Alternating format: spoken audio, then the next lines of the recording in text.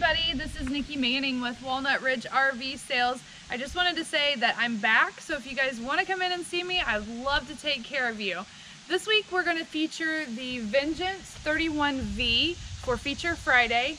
As you can see, it's a beautiful, beautiful gray uh, fiberglass camper. Um, it's got plenty of storage in the front. Um, extra large rain gutters, downspouts, power awning, LED lights, outside speakers.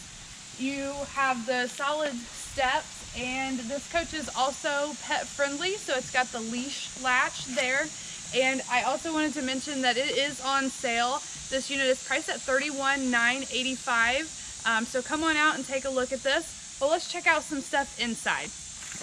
Alright guys, inside this camper, it's got a nice size bathroom with stand-up shower, glass sliding doors. It also has the sink uh, with some countertop space and a huge medicine cabinet behind the mirror. Inside this camper, you've got a huge master bedroom in the front with plenty of storage space and places to walk around the bed. You have USB charging ports and electrical outlets on both sides of the bed. And it's a beautiful sunny day outside today, so with the blinds open, you can tell how bright it really is inside this camper. Plus, they've done a great job with the lighter colored wood and floor. I mean, this camper is beautiful, guys. You really should come out and take a look at it.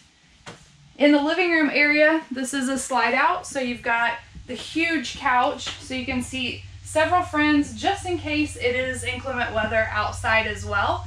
Um, again, the large windows that do open so allows a lot of uh, ventilation inside. And one of my favorite parts of this camper is the back area. And as you can see, the kitchen as we're passing through, um, the three burner cooktop stove and the convection microwave. And the garage area. This is one of my favorite places in these toy haulers because there's so much versatility, different ways you can use this. Um, as you can see, the sofas are folded up against the wall currently, uh, but you can set those down, seat plenty of people out here. They also turn into a bed as well as the bed you have up here. And then the outdoor patio. This is great for entertaining. Um, you can set it up or you can leave it uh, down and use it as a ramp. Um, so just lots of different ideas. Um, so come on out, take a look at this camper. Let's see what we can do to help you out. Thanks for joining us.